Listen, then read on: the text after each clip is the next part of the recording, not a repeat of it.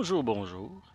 Aujourd'hui, aux berceuses, on s'intéresse à un autre grimoire et j'ai nommé La Poule Noire. C'est un ouvrage un peu différent en comparaison au Petit Albert et au Dragon Rouge. Premièrement, à cause de son aura qui est plus mystique et kabbaliste, mais aussi parce qu'il s'agit d'un récit et non pas d'un simple grimoire d'énumération de rituels et de recettes magiques. Bon, évidemment, on en retrouve dans l'ouvrage, mais c'est incrusté dans une intrigue. C'est assez similaire à l'ouvrage Le Testament du roi Salomon. Par contre, la construction et l'intrigue de la poule noire est un peu mieux ficelée, à mon avis du moins. C'est donc un peu plus intéressant à lire. On n'y retrouve pas les redondances du testament du roi Salomon.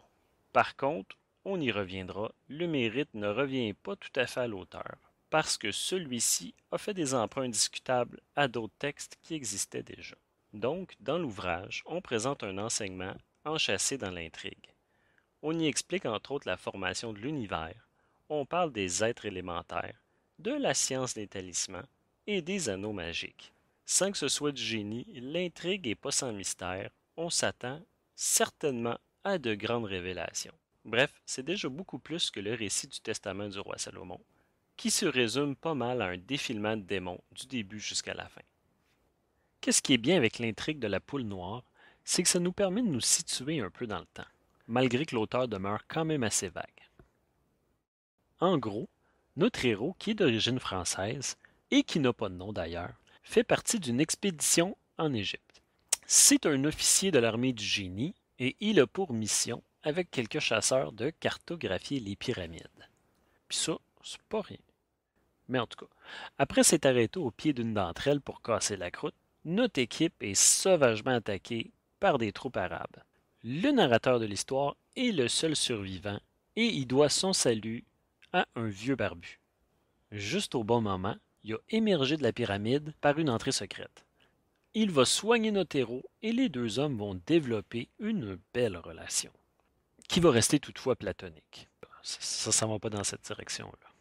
Bref, le vieux barbu, voyant sa fin arriver, lui révèle qu'il va lui léguer toutes ses possessions, car il a vu en lui un homme plein de candeur. Mais au-delà de sa grande richesse, ce qu'il désire lui remettre par-dessus tout, c'est ses connaissances secrètes, qui proviennent entre autres de sa compréhension des mystérieux hiéroglyphes. Fait qu'en gros, le livre traite des révélations faites par le mage à notre héros. Comme j'ai dit plus tôt, le peu qui nous est donné nous permet de nous situer quand même assez bien dans le temps. Par exemple, une expédition en Égypte faite par les Français, ça ne peut être que la campagne d'Égypte de 1798. Le but de cette campagne-là, c'était d'affronter indirectement la Grande-Bretagne en barrant la route des Indes et en contrôlant la Méditerranée en prenant l'Égypte. Rien que ça. Puis, notre héros est un officier dans l'armée du génie, comme il le dit lui-même. Donc, en quelques mots, c'est un spécialiste des techniques de génie militaire et de sa mise en œuvre au combat. Dans le cadre de son travail, il peut avoir à effectuer plein d'affaires dont justement le lever des plans détaillés dans le but d'actualiser les connaissances géographiques d'un lieu donné. C'est ce que j'ai lu.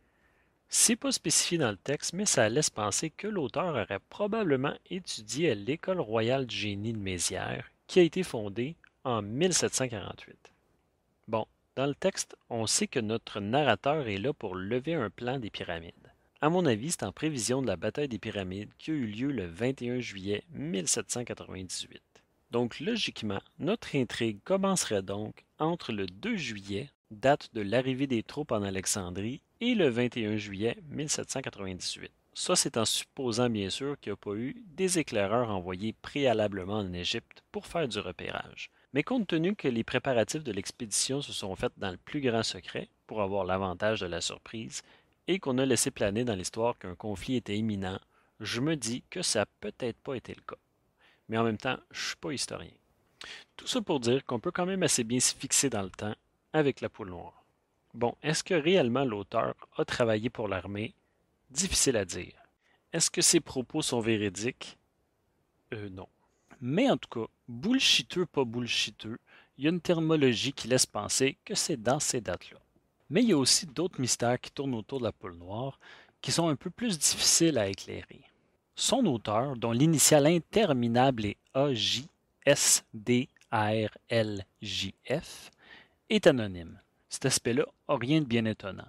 Mais je me suis demandé s'il n'y avait pas une signification cachée dans cette initiale-là, et j'ai donc essayé de le décoder avec les systèmes d'encodage qui étaient connus dans les années 1800.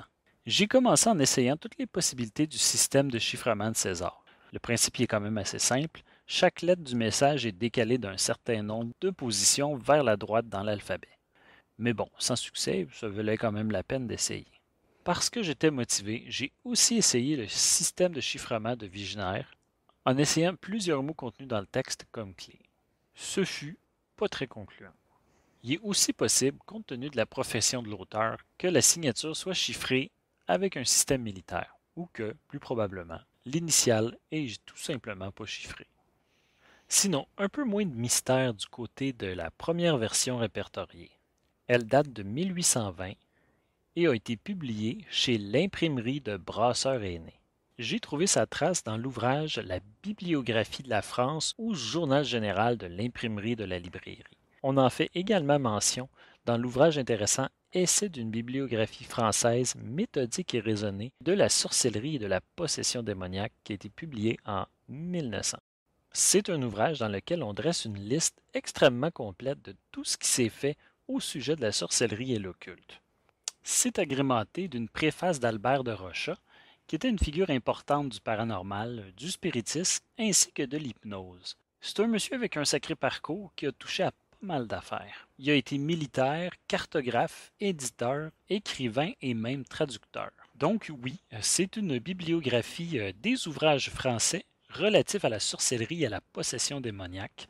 Le tout est classé par catégorie, comme par exemple L'enfer et le diable, La chasse aux sorcières, œuvre d'imagination. Ça, c'est une section qu'on pourrait retrouver fausse ou encore la divine comédie dedans.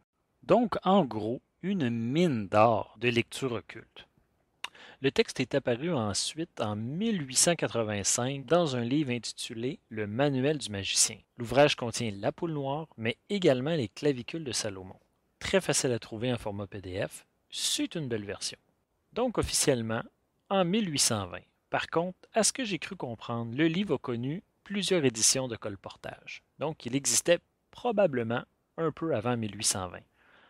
Revenons à l'histoire maintenant, parce que comme je le disais plus tôt, il s'agit d'un récit, qui est en fait le prétexte pour amener les enseignements de la poule noire.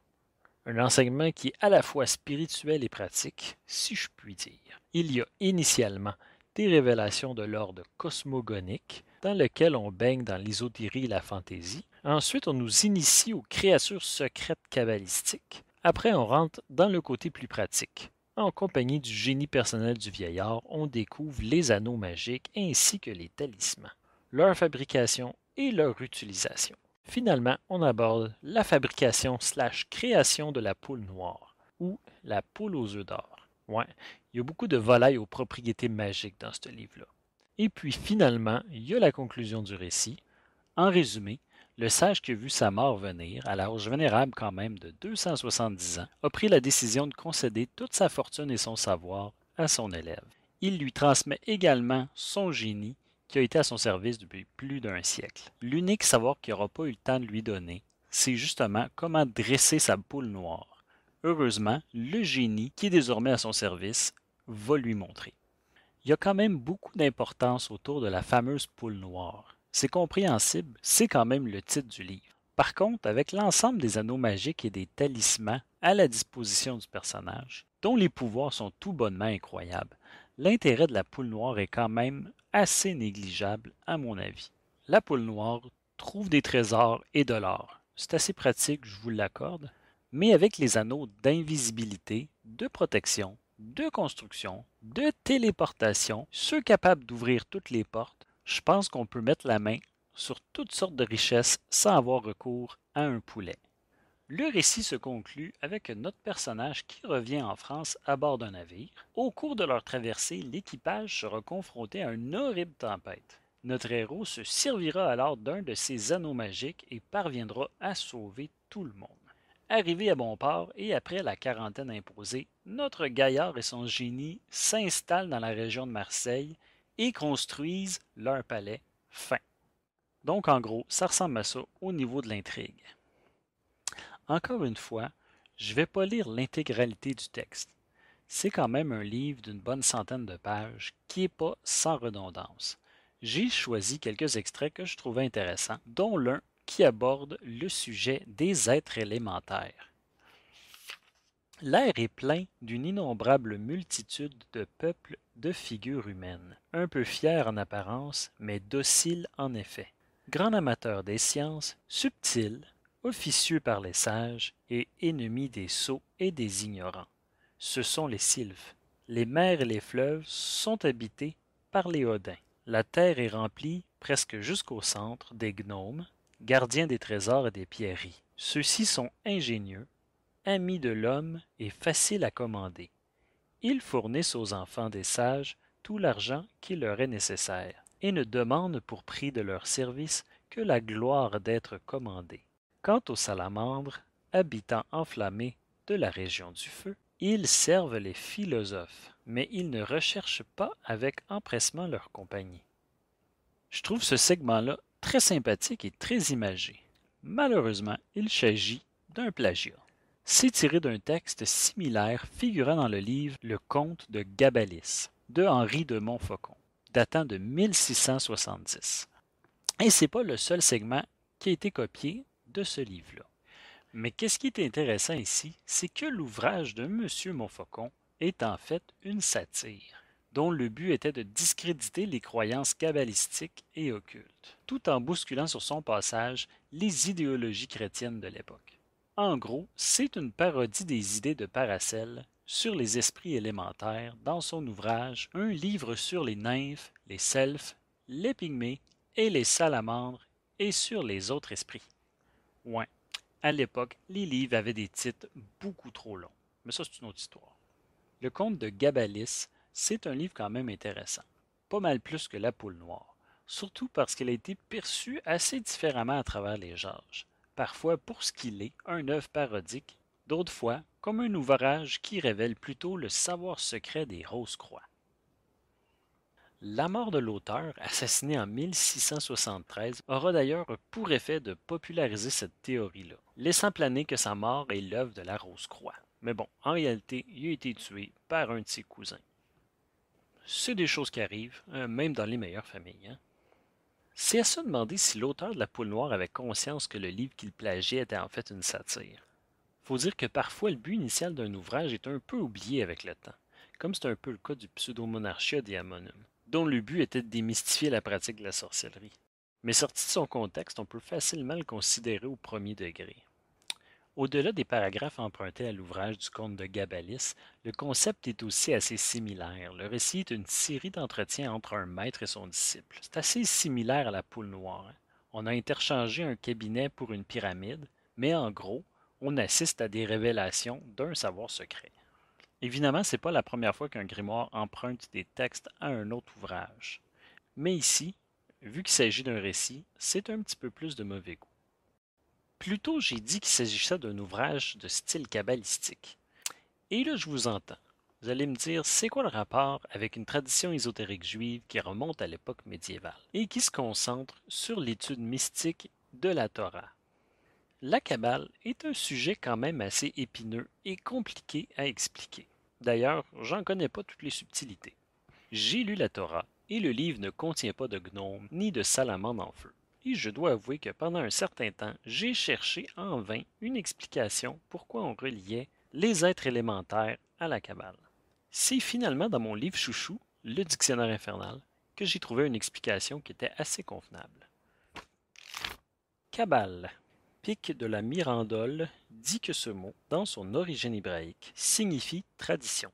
L'ancienne cabale des Juifs est, selon quelques-uns, une sorte de maçonnerie mystérieuse. Selon d'autres, ce n'est que l'explication mystique de la Bible, l'art de trouver des sens cachés dans la décomposition des mots, et de la manière d'opérer des prodiges par la vertu de ces mots prononcés d'une certaine façon.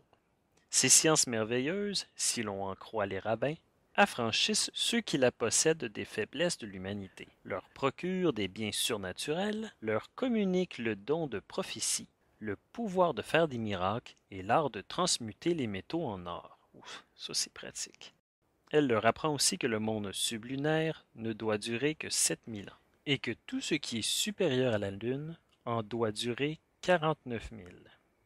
Les Juifs conservent la Kabbale par tradition orale. Ils croient que Dieu l'a donnée à Moïse au pied du mont Siné. Ça, c'est la montagne où Moïse a fait graver les dix commandements, comme dans le film Les dix commandements d'Astérix. Je pense que je confonds des affaires. En tout cas, que le roi Salomon, auteur d'une figure mystérieuse qu'on appelle l'arbre de la Kabbale des Juifs, y a été très expert et qu'il faisait des talismans mieux que personne. La Kabbale des Grecs, inventée, dit-on, par Pythagore ou par Platon, renouvelée par les Valentiniens, tira sa force des lettres grecques combinées et fit des miracles avec l'alphabet. Là, ici, on arrive au segment qui nous intéresse, la grande Kabbale, ou la Kabbale dans le sens moderne proprement dit. est l'art de commercer avec les esprits élémentaires. Elle tire parti pour cela de certains mots mystérieux. Elle explique les choses les plus obscures par les nombres, par le changement de l'ordre des lettres et par le rapport dont les kabbalistes se sont formés des règles. Or voici quels sont, selon les kabbalistes, les divers esprits élémentaires. Les quatre éléments sont habités chacun par des créatures particulières, beaucoup plus parfaites que l'homme, mais soumises comme lui aux lois de la mort. L'air, cet espace immense qui est entre la terre et les deux, a des hôtes beaucoup plus nobles que les oiseaux et les moucherons. Ces mers si vastes ont d'autres habitants que les dauphins et les baleines. Les profondeurs de la terre ne sont pas destinées aux taupes seulement, et l'élément du feu plus sublime encore que les trois autres, n'a pas été fait pour demeurer inutile et vide. Les salamandres habitent donc la région du feu, les sylphes le vague de l'air, les gnomes l'intérieur de la terre, et les odins ou nymphes les fonds des eaux. Ces êtres sont composés des plus pures parties des éléments qui habitent Adam.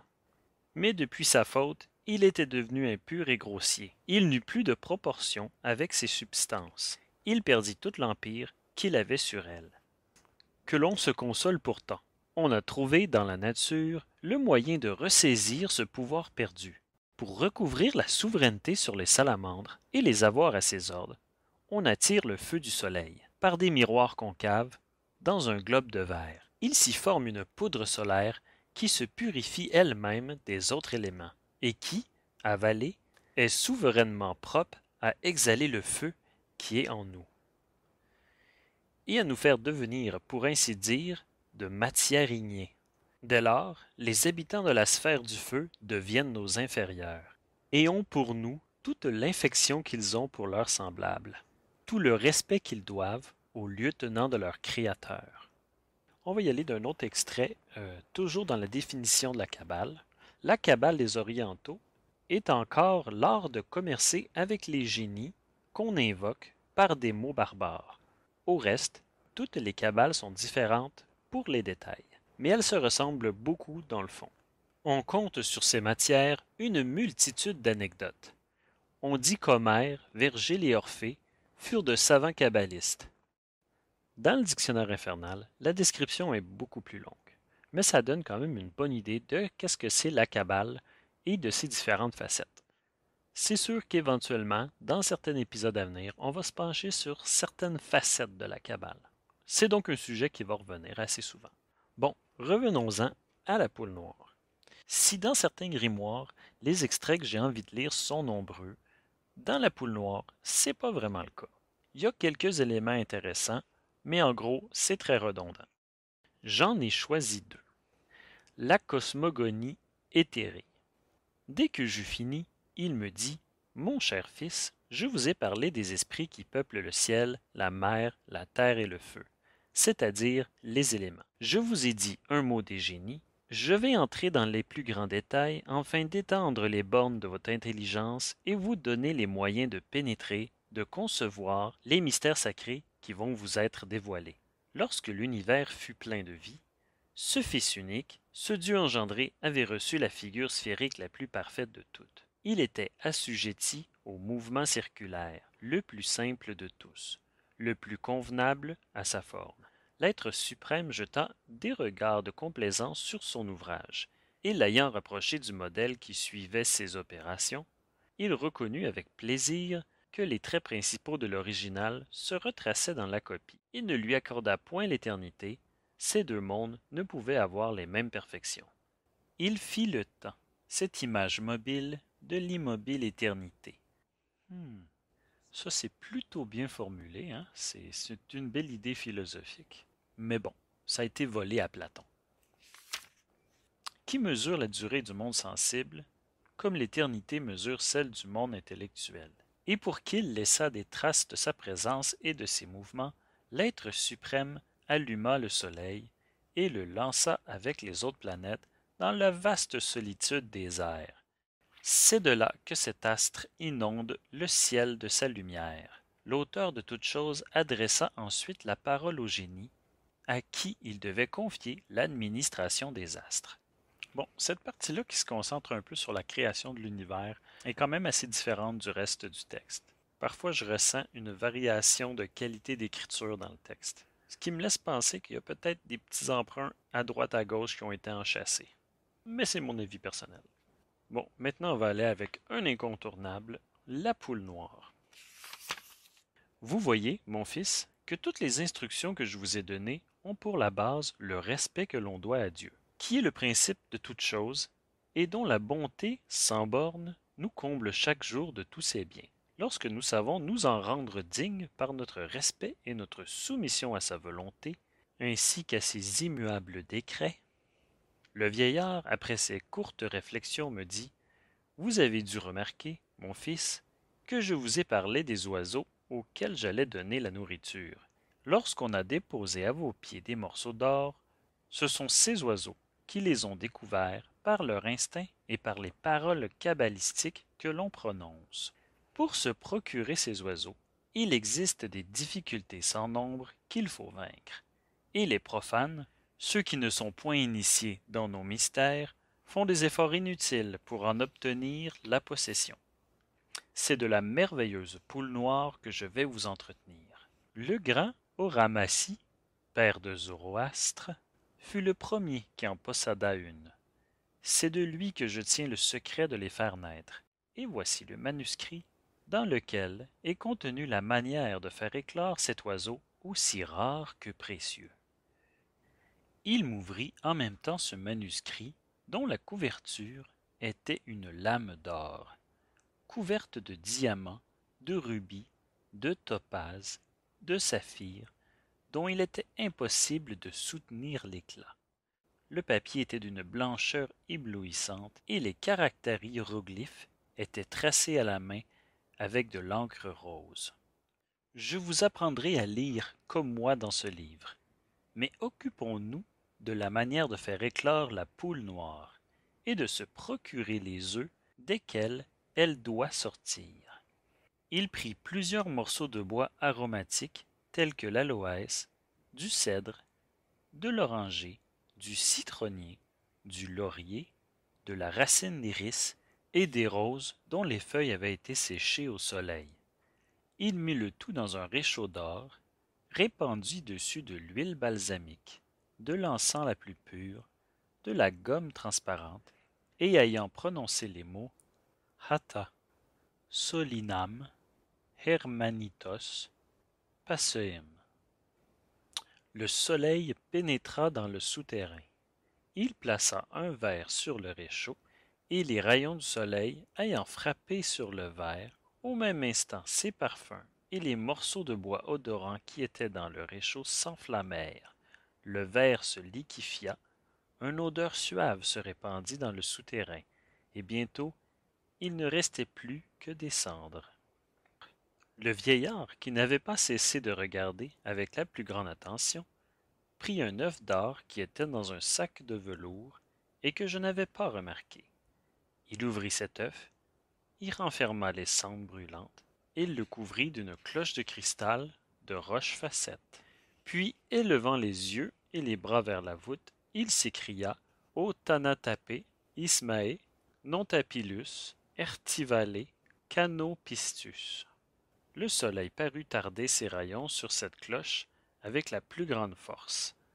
La cloche devint couleur de feu. L'œuf en or se dérobe à mes yeux.